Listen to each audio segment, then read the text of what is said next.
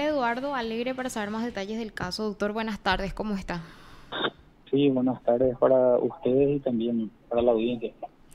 Doctor, tenemos un secuestro express. Finalmente la persona queda liberada. Estamos hablando de un agricultor de 71 años.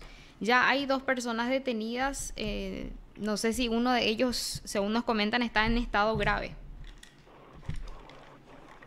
Sí, efectivamente, eh, efectivamente eh, estamos investigando un supuesto hecho de, secuestro. Eh, en estos momentos yo estoy en la comisaría tercera de San Ignacio de Misiones conversando con, con la supuesta víctima para que me pueda aportar los datos que puedan ser relevantes para esta investigación.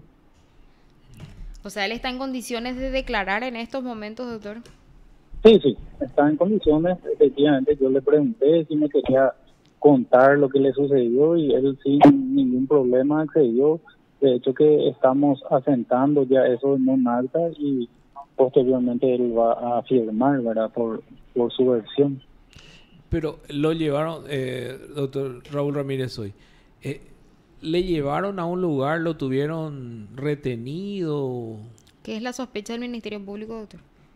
¿Qué dice el bueno, Bueno, eh, quiero hacer un poco de, geografía. El hecho ocurrió en la en una compañía denominada Ibáñez Rojas, que pertenece a la ciudad de San Juan Bautista Misiones. Eh, esta persona fue encontrada eh, con su con el supuesto autor en otra localidad en San Ignacio Misiones. Ah. Vamos a partir de esa base, ¿verdad?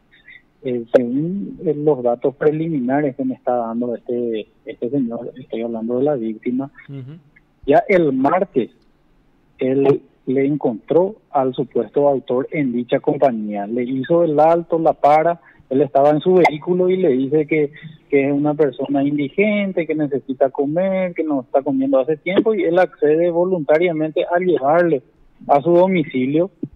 Estuvo hasta el día de hoy.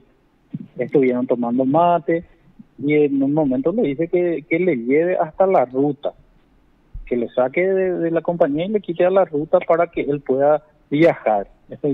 Y en ese momento se apodera del arma que tenía eh, la víctima de eh, en su en su dormitorio y le encañona con con el mismo ¿verdad? Eh, con, con, el arma y le dice que efectivamente se trata de un asalto y ya por el camino eh, le dice que le llame a un familiar que él necesita dinero que, que es la única forma que él no le mate y que, que lo pueda liberar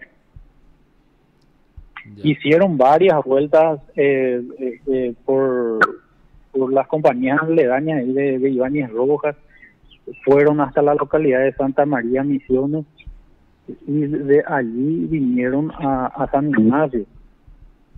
Quedaron en un lugar y efectivamente allí ya los agentes policiales a través de un operativo cerrojo pudieron visualizar dicho vehículo con las características, ¿verdad? y, efectivamente descendieron y se produjo ya una balacera entre el, supuesto autor de este hecho de... Hola. Sí, sí, te escuchamos, doctor.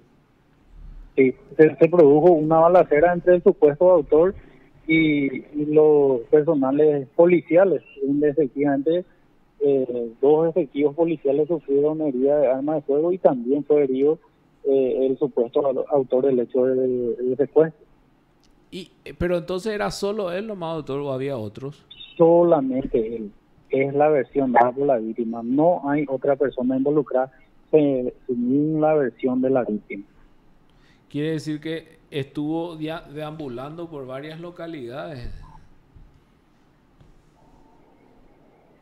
Y e, ese dato no te puedo precisar. No, pero eh, como dijo que fue a, Santa María, después a San Ignacio. Ah, no, sí, sí, e, en, ese, e, en el día de hoy. Sí. En el día de hoy.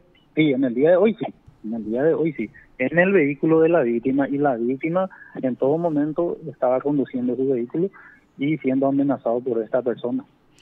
¿Y, ¿Y por qué se habla de dos secuestradores y que uno escapó, doctor? Y yo no dije eso. No, no, no, pero eh, los medios están reportando, por eso nomás te consulto. Yo no sé si ustedes también tienen y, el mismo. Y, y, no sé de dónde salió esa información, Mm. porque todo pues, es muy reciente.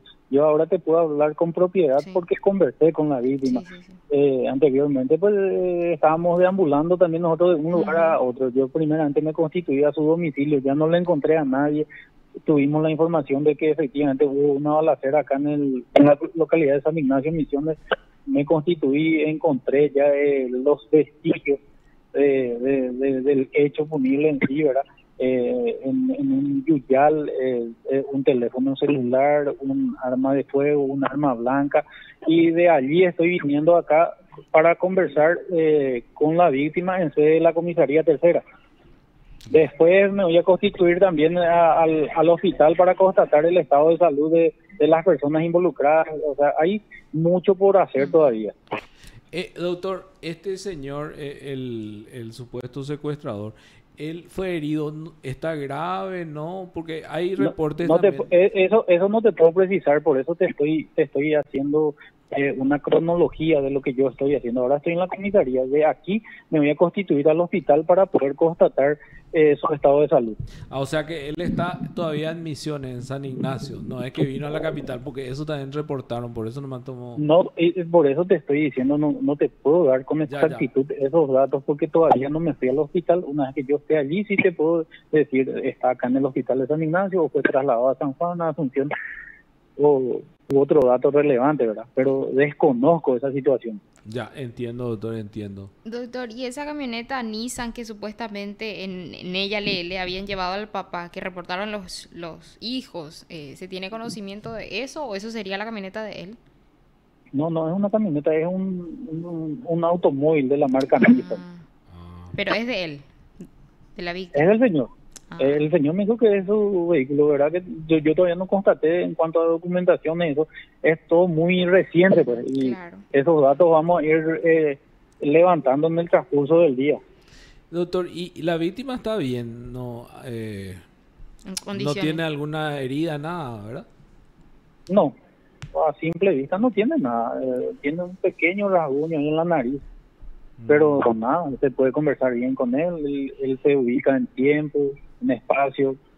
eh, y él pudo aportar eso. Ahora eh, existe también otra persona detenida que sería eh, la novia de este señor, de la víctima, según lo- los datos preliminares que también tengo, quien está eh, en sede de la comisaría primera de San Juan.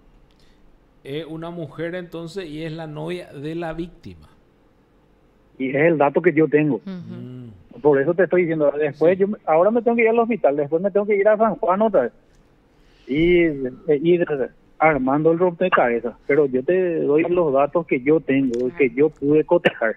Sí, doctor, le agradecemos, Le agradecemos. muchísimo por eso. Sabemos que está en pleno, en plena tarea. ¿Y cuál es la jurisdicción así, doctor? Eh, sería de San Juan, ¿verdad? De San Juan. Mm, De ahí, ahí sería si es que hay alguna imputación y eso sería ahí, no en San Ignacio, ¿verdad? E- efectivamente eso sería de San Juan. Eh, ahora yo estoy haciendo esto, estoy relevando todos estos datos importantes porque eh, la fiscal que está de turno es la doctora Mirta Valle y justamente hoy se fue a la corte por un por una causa eh, eh, importante también se fue a notificarse algo y cuando ella regrese yo le voy a poner al tanto de todo el procedimiento y, y va a seguir su curso ya con, con ella. Mirta Valle. Sí. Ya. Y bueno, doctor, muchísimas gracias por su tiempo. Disculpe que lo interrumpamos en pleno procedimiento. Muy amable. No, estamos nosotros para, para hacer saber nuestro trabajo y no hay por qué pedir disculpas por esa situación. Muy amable, doctor. Gracias, doctora. Hasta luego. Adiós. Usted está escuchando PDS. Estábamos entonces con el doctor Eduardo Alegre, Sí. que nos explicó una versión totalmente distinta a la que se estaba dando. ¿eh? La mujer